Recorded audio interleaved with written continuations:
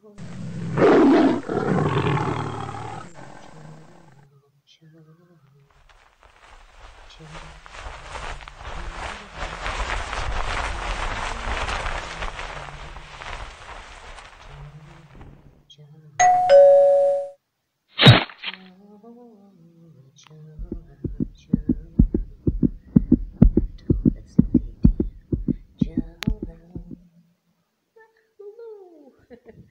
Years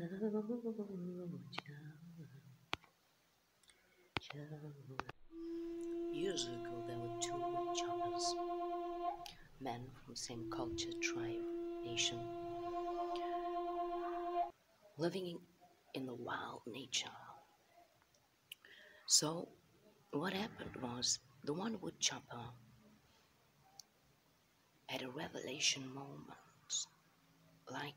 Was like, it's not okay, man, to cut down trees, to eat from the land, or like strike the kingdom, the animals, the birds, and take from the seas. So he put down his weapons and he started a small farm and nuts and seeds. And him and his family lived well and they were well looked after. The other woodchopper, he kept on on his horrific, horrifying ways, chopping down trees, taking from the seas, eating live meat, striking at land, striking at the kingdom, that of the animals, nature, and a green. And one day there was a storm that arrived on the coast of Qatar. It was a thunderstorm unfamiliar to the tribe of Chico, because the Chico tribe was used to hot, hot, hot weather, little rain, as the environment is almost like the Amazon. The climate is moist all the time. The thunderstorm entered that came in from the seas with a big wave announcing its arrival. Unfamiliar to thunder was the house that was built out of wood, was the smell of live meat. And as the thunder struck, it stroked the house that was built by the woodpecker, and it put it to light, and it burned down away. The woodpecker that day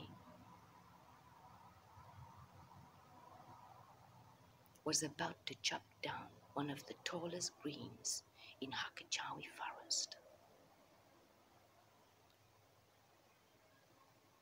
It didn't let lightning. She never did hit the tall green tree, nor the woodpecker. She hit the house. Never once. She striked, never once. When a thunder struck, it struck what was unfamiliar to her, her terrain, her territory land. The woodpecker threw down his axes and his tools, as his family that day was at the river in Manso. Had they been in the house, had he been in the house, there'd be no more. He had a revelation knowledge like that, that he was looked after by one far greater than he could ever know. He took from the seas no more, he striked against the kingdom no more.